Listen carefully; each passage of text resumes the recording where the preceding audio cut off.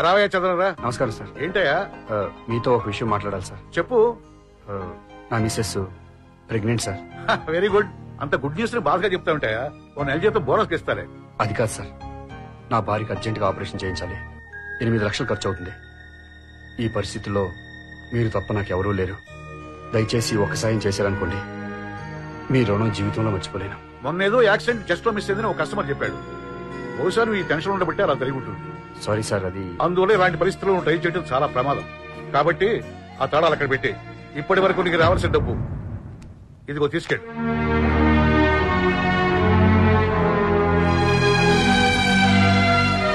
తీసుకోవయ్యా.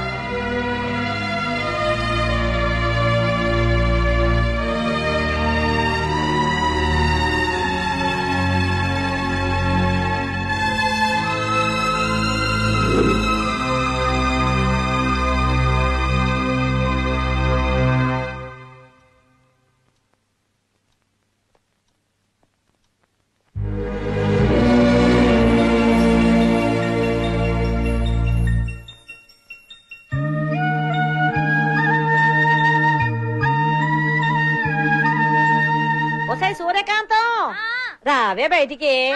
వస్తున్నా. అబ్బో తిప్పులాడి. అమ్మ లక్ష్మి ఆ సారథం చేతిలో పెట్టు. ఎందుకు ఇచ్చాను అనుకుంటున్నావా ఆ రోజు నువ్వు నా మనవరాల్ని గొంతు చించుకొని నువ్వు గొడ్రాలివి అన్నావు కదా. నువ్వన్న మాటలకి ఆ దేవుని కుండె కరిగి నా మనవరాల్ని కరుణించాడు. అది ఇప్పుడు నీళ్ళు వస్తుంది. త్వరలో సీమంతానికి పిలుస్తాను. వచ్చి అక్షంతలు వేయి. తిప్పులాడి. రండే మొత్తం కాలనీనే కవర్ చేద్దాం. కళ్యాణి?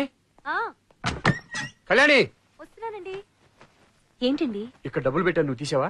లేదండి అక్కడే ఉంటాయి. చూస్తానుండండి ఏమిట్రా వెతుకుతున్నారు? బామ్మకి డబ్బులు పెట్టాను నువ్వు కానీ తీసావా? అవునరా నేనే తీసా. తీసుకురా. ఏమిటి తెచ్చేది? ఆ డబ్బుతోనే చీర కొని మొన్న దీని గొడ్రాలు అని తిట్టింది చూడు. దాని మొహన సారె కొట్టి నాలుగు తొలిపేసి వస్తున్నా. ఛీ! ఇప్పుడు సారి పెట్టడం అవసరమా? అయినా నన్ను అడగకుండా డబ్బులు తీసావే? నిన్ను? ఏమండి? ఊరుకోండి.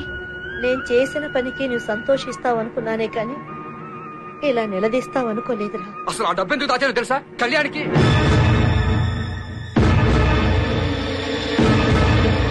కళ్యాణికి. కళ్యాణికి చీర కొందామని. ఫోన్లేండి. చీరేగా? నేను తర్వాత కొనుక్కుంటాను. ఇంత చిన్న విషయానికి ఎందుకంత కోపం? అది కాదు కళ్యాణి. అసలు ఆ డబ్బు ఎంత అవసరమో తెలుసా? ఇంకో ముసల్దానా ఇంకొకసారి నన్ను అడగకుండా డబ్బు తీసావనుకో మామూలుగా ఉండదు తెలుసా? ఏ ఏంట్రా బా ఎప్పుడు లేదు బామ్మ మీద అంత కేకలేస్తున్నా నీ మూడ్ బాగాలేనట్టుంది. రా.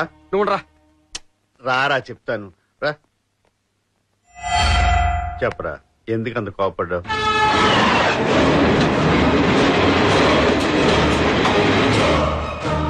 ఈ విషయం కళ్యాణికి తెలుసా? ఏంటి నువ్వు ఇచ్చేది నువ్వు కానీ నీ ఫ్రెండ్ కానీ ఎప్పుడైనా అంత డబ్బు చూసారా? కొంచెం నెమ్మదిగా మాట్లాడవే. ఏంటి చిన్నగా మాట్లాడేది? ఏయ్ వాడు వింటాడని కాదు. నేను చెప్పేది విను. నువ్వు అడిగింది చిల్లర కాదు లక్షలు. లక్షలు కాబట్టి నిన్ను బతిమాలుతున్నాను వాడేం బిజినెస్ మ్యాగ్నెట్ కాదు. ఆఫ్టర్ ఆల్ డ్రైవర్ ఇంత డబ్బు తీసుకెళ్తే తిరిగి ఇవ్వగలరా ఇస్తాడో లేదో అనేది కదా ఓ మంచి పని చేస్తున్నావు నా తృప్తి కోసం. తృప్తి ఇక నీ బాబు సంపాదించింది ఏం లేదు. అయినా ఇవ్వడానికి నీకు బుద్ధి లేకపోయినా తీసుకోవడానికి వాడికైనా బుద్ధి ఫు, నీలాగే వాడు నిశ్చితరుదుడు గతి లేనప్పుడు వాడు పెళ్ళాన్ని తీసుకెళ్ళి ఏ దిక్కుమాల హాస్పిటల్ పాడేయాలి గాని వాడి మొహానికి కార్పొరేట్ హాస్పిటల్ కావాల్సి వచ్చిందా? ఇది ప్రాణానికి సంబంధించిందే. కడుపులో బిడ్డకే కాదు తల్లికి కూడా. వాళ్ళు ఎలా చేస్తే నాకేంటి? నల్ల కొట్టేసుకుని వెర్రి మొహం పెట్టుకుని తిరిగి రావడం తప్ప ఎప్పుడైనా ఒక్క రూపాయి సంపాదించడం తెలియదు నీ మొహానికి? పైగా నా పుట్టింటాలు ఇచ్చిన డబ్బులు ఇలాంటి ఎదలకి దాన ధర్మాలు చేస్తే రేపు నా గతి ఏం కావాలి? అయినా పెళ్ళానికి జబ్బు చేస్తే బాగు చేయించని తెలియని వాడికి కాపురం చేస్తే హక్కు ఎవరిచ్చారు? నిన్ను కొట్టిన కుక్కను కొట్టిన ఒకటే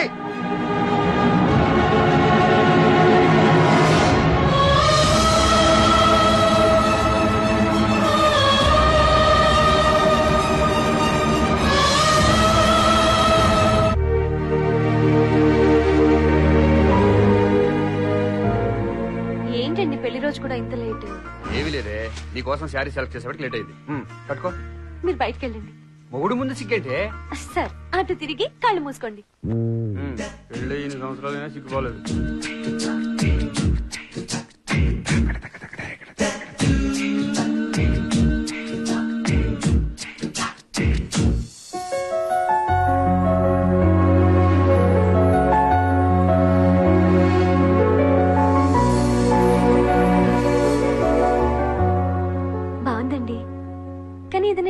బాగుండేది.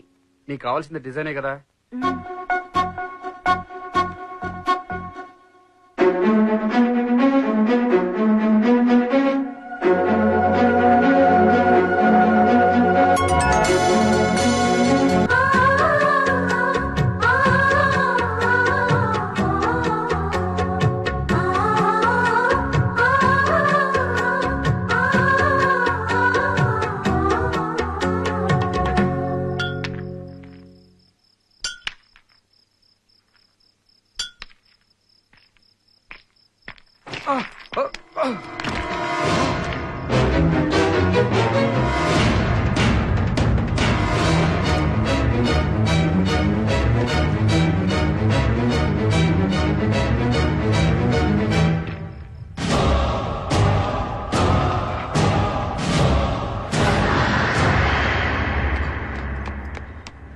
ఇదేంటి? సార్ రైల్వే ట్రాక్ పక్కన ఒక శవం పడుంది సార్. పక్కన ఈ బ్యాగ్ కూడా ఉంది. ఇందులో చాలా క్యాష్ ఉంది సార్. ఇదిగో సార్. చూడండి సార్. ఆ బ్లడ్ ఏంట్రా? ఇది అమ్మాయి డెడ్ బాడీ మీద చేయబడింది సార్. అప్పుడు అంటుకుంది సార్ ఇది. ట్రాక్ మీద శవం నీ చేతికి బ్లడ్ స్టోరీ బాగానే వెళ్ళావు ఏ సినిమాలో వదిరా? సినిమా ఏంటి సార్? నిజమండి. ఆ నిజమే చెప్పు. అవునరే? ఆ అమ్మాయి నీకేమవుద్ది? ఆ అమ్మాయికి నాకు ఎటువంటి సంబంధం లేదు సార్. టీవీలో నేరాలు ఘోరాలు క్రైమ్ వాచ్లు ఇవన్నీ చూస్తున్న రోజుల్లో కూడా నువ్వు నా దగ్గరే గొప్పగా నటిస్తున్నావంటే నువ్వు మామూలోడు కాదురా. Sir. Thirty years. Thirty years experience అమ్మా. అవునరే? నిజం చెప్పరా? ఆ అమ్మాయిని ఎందుకు చంపావు? నే- నేను చెప్పడం ఏంటండి? మేమంతా గాంధీవాదులం సార్. మా తాత పెద్ద ఫ్రీడమ్ ఫైటర్. ఆ. స్వతంత్ర పోరాటంలో మా తాత జైలుకి వెళ్ళాడు సార్. ఓహో. శాంతి పోరాటంలో మా నాన్న కూడా జైలుకి వెళ్ళాడు సార్. ఇప్పుడు నువ్వు కూడా వెళ్దు గాని? నమస్కారం ఎస్ఐ గారు. బాగున్నారా బసరాజు గారు? రండి క్రిమినల్ కృష్ణబాబు గారు. మధ్యలో లాయర్ ఉంది. ఈడొచ్చాడేంటి ఏమండి ఇతను మీ క్లయింటా? నా ఫ్రెండ్. ఆ చనిపోయిన ఆవిడ మా వాడి భార్య. వెళ్ళాం. అర్ధాంగి. నాకు నమ్మబుద్ధి ఇట్లా ధర్మపత్ని. ఇప్పుడు నమ్మబుద్ధి వేస్తుంది. రే బాబు అక్కడ అన్ని శవాలు లేవరా? ఒకే శవం ఉంది. మీరు కన్ఫ్యూజ్ అవ్వకండి. కట్టుకున్న భార్య రైలు కింద పడి చచ్చిపోవడంతో షాక్లో ఉన్నాడు. మీరు షాక్ అవ్వద్దు. నాకేం ప్రాబ్లం రాదు కదా? బసవరాజు గారు. మా వాడితో అలా సెల్లోకి వెళ్ళి ఒక నిమిషం మాట్లాడుకోవచ్చా? పది నిమిషాలు మాట్లాడుకోండి నాకే ప్రాబ్లం రాకుండా. రే సెల్లోకి వెళ్ళి మాట్లాడుకోవడం ఏంట్రా? నీకు అర్థమయ్యేలా చెప్తాను రారా బావా. లక్ష్మీధర్ లక్ష్మీధర్ లోపలికి వెళ్ళిపోమ్మా. ఏంట్రా నువ్వు చేస్తుంది? మేనేజ్ చేస్తున్నా. ఆ శవాన్ని నీ భార్య అని చెప్పావనుకో ఆ టేబుల్ మీద ఉన్న మొత్తం డబ్బు నీదవుద్ది. అంటే? ఆ డబ్బు కోసం ఆ శవాన్ని నా భారీగా ఒప్పుకోవాలా? ఒప్పుకున్నంత మాత్రాన ఆ శవం వచ్చి నేను కాపురం చేయమంటదా? ఇదంతా దేనికోసం నీ భార్యను బతికించుకోవడం కోసం. ఆ అమ్మాయి ఎవరో తెలియదు ఆ చనిపోయిన అమ్మాయి డబ్బుతో నా భార్యని బతికించుకోవాలా? తప్పదు. ఏమోరా. దానికి నా మనసు ఒప్పుకోవట్లేదు. నీ భార్యని కడుపులో ఉన్న బిడ్డని చంపుకోవడానికి నీ మనసు ఒప్పుకుంటుందా? నువ్వు ఎవరిని మోసం చేయట్లేదు. నీ అవసరానికి ఆ దేవుడే నీకు ఈ విధంగా సహాయం చేస్తున్నాడేమో. చేతికొచ్చిన అవకాశాన్ని చేజార్చుకుని ఆ తర్వాత కళ్యాణ్కి ఏమన్నా అయితే నువ్వు తట్టుకోగలవా? ఇంకా ఆలోచించావంటే ఆ ఎస్ఐ గారు మిగిలిన డబ్బులు కూడా నొక్కేస్తాడు. రా చెప్తా. ఎస్ఐ గారు. మా వాడు షాక్ లోంచి కోలుకున్నాడు. మీరు ఆ శవాన్ని పోస్ట్ మార్టం చేయించి మా వాడికి అప్పచెప్తే పాప అంత్యక్రియలు చేసుకుంటాడు. రే two not three sir. FIR ready చేసి సంతకం తీసుకోండి. Okay sir. పాపం. లక్ష్మీదేవిలా ఉందయ్యా.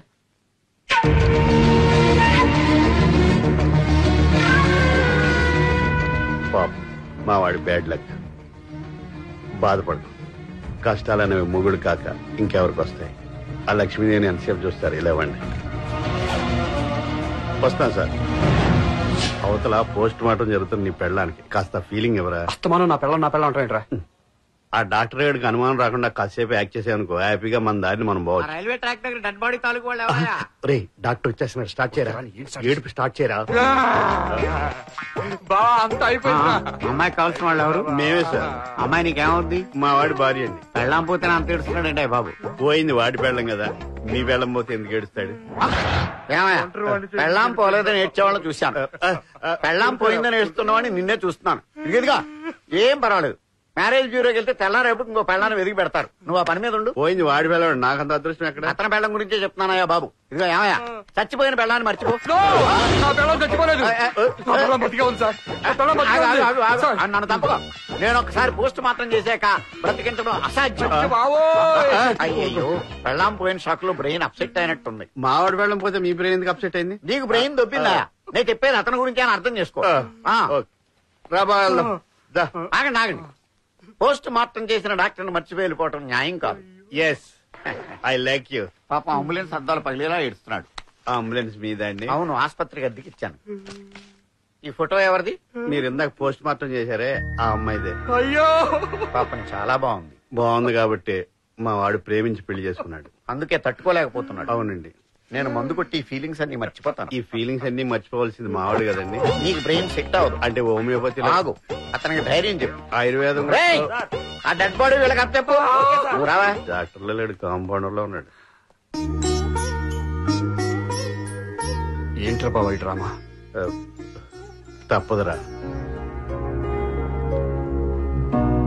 ఏ తల్లి కన్న బిడ్డవో నా భార్య బిడ్డని బతికించుకోవడం కోసం నిన్ను నా భార్య అని చెప్పి అబద్ధం ఆడాను.